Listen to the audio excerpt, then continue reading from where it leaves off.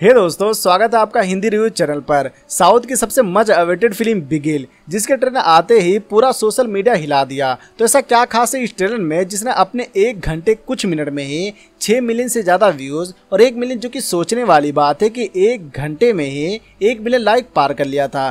तो क्या विजय का स्वैग है या ट्रेलर में ही कुछ खास है? तो जी हाँ ट्रेलर से लेकर विजय का स्वैग दोनों ही ट्रेलर में खास है। तो आज हम इसी ट्रेलर को रिव्यू करेंगे और कुछ इंटरेस्टिंग बातें जानेंगे। तो अगर आप भी विजय का डाई हार्ड फ़ैन हैं तो इस वीडियो को एक लाइक और एक शेयर ज़रूर करें। वैसे यार, अगर चैनल को सब्सक्राइब कर देंगे तो बड़ी मेहरबानी होगी। और हाँ घंटी दबाना तो बिल्कुल भी मत भूलना। बिगिल, जिसको डायरेक्ट किया है अतली ने। अतली कुमार ने इससे पहले तीन फ़िल्मों को डायरेक्ट किया है। राजा रानी थेरी और मर्सल, जो कि आप सब जानते ही हैं कि मर्सल और थेरी दोनों ही विजय के साथ थी और अब ये बिगिल इस जोड़ी की तीसरी फ़िल्म है। अतली कुमार की तीनों फ़िल्में ब्लॉकबस्टर हैं, लेकिन क्या आपने गौर किया है कि उनकी पिछली तीनों फ़िल्में और ये बिगिल सब में लीड एक्टर के एक से ज़्यादा करेक्टर हैं, यानी कि डबल या तो ट्रिपल रोल जो कि एक फैक्ट है, क्योंकि शायद ही पहले कभी ऐसा हुआ हो कि एक डायरेक्टर फ़िल्में बनाए और उन सब में डबल रोल हो। बात करें ट्रेलर की तो शायद ही किसी फ़िल्म के ट्रेलर ने इतना इंतज़ार करवाया हो, क्योंकि आप सबको तो पता ही होगा कि फ़िल्म के रिलीज़ होने में अभी बस 10 से 12 दिन ही बचे हुए हैं।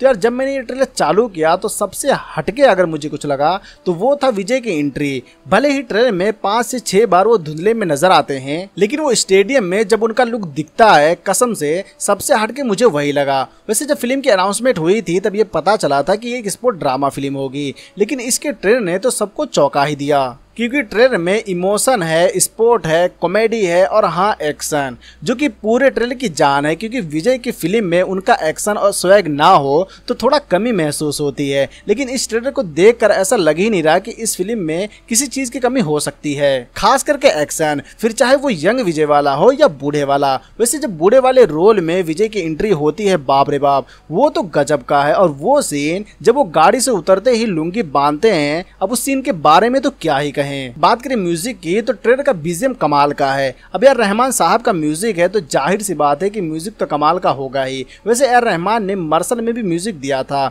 और रोमांस तो वो तो ज़रूरी होगा।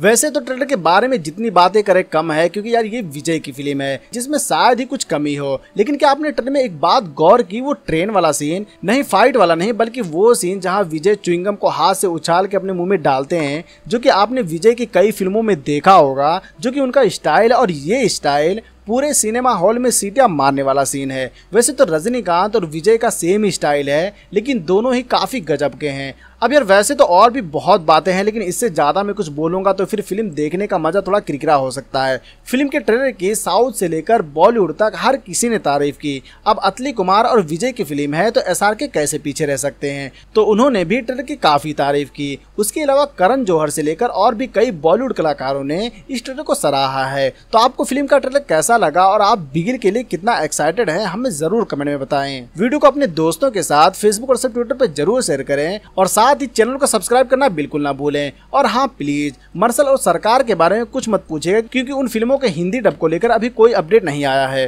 एक, दो, तीन, चार, पाँच छह सात, आठ, नौ, दस।